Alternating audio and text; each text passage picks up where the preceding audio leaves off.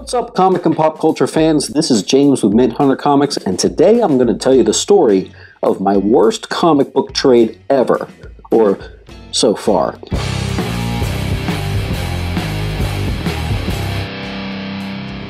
Guys, don't forget to like, subscribe, and comment down below. We got the 20,000 subscriber giveaway coming up, which you're getting the cameo and the first full appearance of King Shark in 9-8 with the CGC corrected notes to finally make mention of King Shark on uh, Superboy Zero here. Pretty awesome. Alright guys, so this story is what I would consider my worst trade to date. Now, what's interesting about this is I wish I could tell you this was 10 years ago, 12 years ago, when I was kind of getting into the more collecting aspect of things. However, this was borderline hardly even five years ago. This was 2018, I'm pretty sure, and I just, man, I should have known better. I just, there's no excuse. I didn't have a YouTube channel. I had an Instagram, but maybe one in 50 posts would be something comic book related. I didn't really have any connections other than my local comic book shops, which ironically, if I were to have talked to them about this, they probably would have told me, dude, no. Well, anyway, I had a nice run of Fantastic Four. It was like issue 210 all the way to the end of the run. I really want to say it ends at 412 off the top of my head. I think that sounds right. And I had this whole run and I think there were like five or six comics missing in the middle. I thought that it was going to give me a lot of leverage having this nice, full, super clean run here, and I went on mycomicbookshop.com and I was going on eBay and I was spending on filling in the gaps and fixing those holes, plugging those holes, getting those comics to make it even more complete. Being a big DC guy, I always wanted to focus my collection more on collecting Green Lantern, Batman, Superman, Flash, this and that. So I got into contact with this dude. I think I had messaged him on his eBay and I was able to get his number. Ironically, eBay doesn't let you share phone numbers in the messages now anymore, so that dates this story a little bit. He was amenable and he gave me his number and we were chatting comics for a little bit there and he was really interested in my Fantastic Four, and he had a bunch of Batman stuff. I was like, all right, why don't we do a meet? We can do a trade. The concept of trading was still fairly foreign. I'd probably traded maybe only 10 times up until this point. We meet up, we set a time and everything.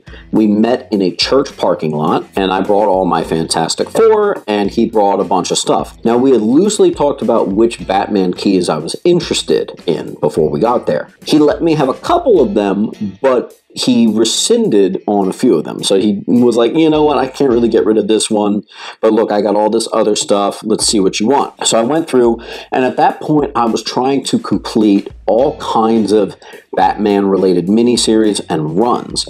So I wanted to complete my Shadow of the Bat, Legends of the Dark Knight, but then like Gordon's Law, like uh, Gotham PD and like all these other Batman related miniseries and maxi series things. I was finding the stuff that I wanted. I had little Google sheets of all my missing comics and I was just filling in the gaps. So he had this, he had that, he had that. And it, for some reason, it just didn't occur to me what I'm letting go is a near complete run of like Fantastic Four. Let's say it was 210 all the way to the end of the run.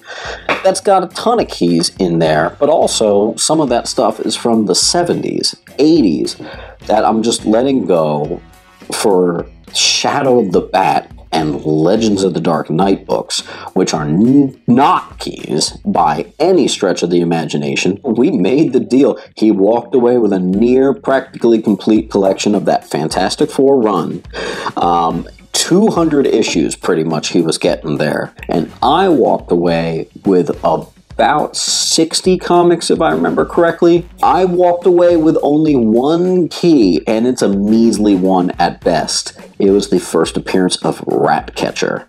Yeah, I don't know what overcame me. I don't know what I was thinking. But, and I remember when I was leaving, I remember thinking, like, this doesn't seem like I made out here. This doesn't seem like I did that okay. And when I got home and I started looking, dawned on me to actually look up the value of what I had lost versus what I had gained, and it, it was like 10 to 1, honestly. Maybe more. and while it was cool to fill in the gaps for those other things that I was collecting at the time, a lot of those books are worth like 10 to 50 cents. Whereas the books that I had let go were 10, 15, 20, 25, 30 dollar books. Yikes. Now, I will say you're probably wondering, how the heck did this happen? This was only five years ago. I should have known better. Yes, I absolutely should have known better. But also, this dude was a born salesman. I don't know how he pitched it to me, but I remember there he applied just the right amount of pressure that I couldn't really say no. He gassed up the books that I was picking up and got me really excited about them. And he made it an environment for me that I couldn't walk away even though when I did walk away, I knew I got played. The sad thing is, I don't even have the Shadow of the Bat anymore. I gave that away as a giveaway. I don't even have the Legends of the Dark Knight anymore. I think that was my 5,000 subscriber giveaway. I literally don't even have these books anymore that I made this bonehead trade on anyway. I do think like if I had those books now, I mean, who knows? What what what do you guys think you could honestly sell for that? A lot of it was really high grade stuff. Uh, 200 books. It was missing like again like five. Like what what would I have been able to sell that for? Like 2 grand? And instead I got like $40 worth of comics. Oh boy. It, I've got a lot better at the art of the trade and a lot better at knowing when to walk away or when I'm being played, but unfortunately back then I got really taken to the bank.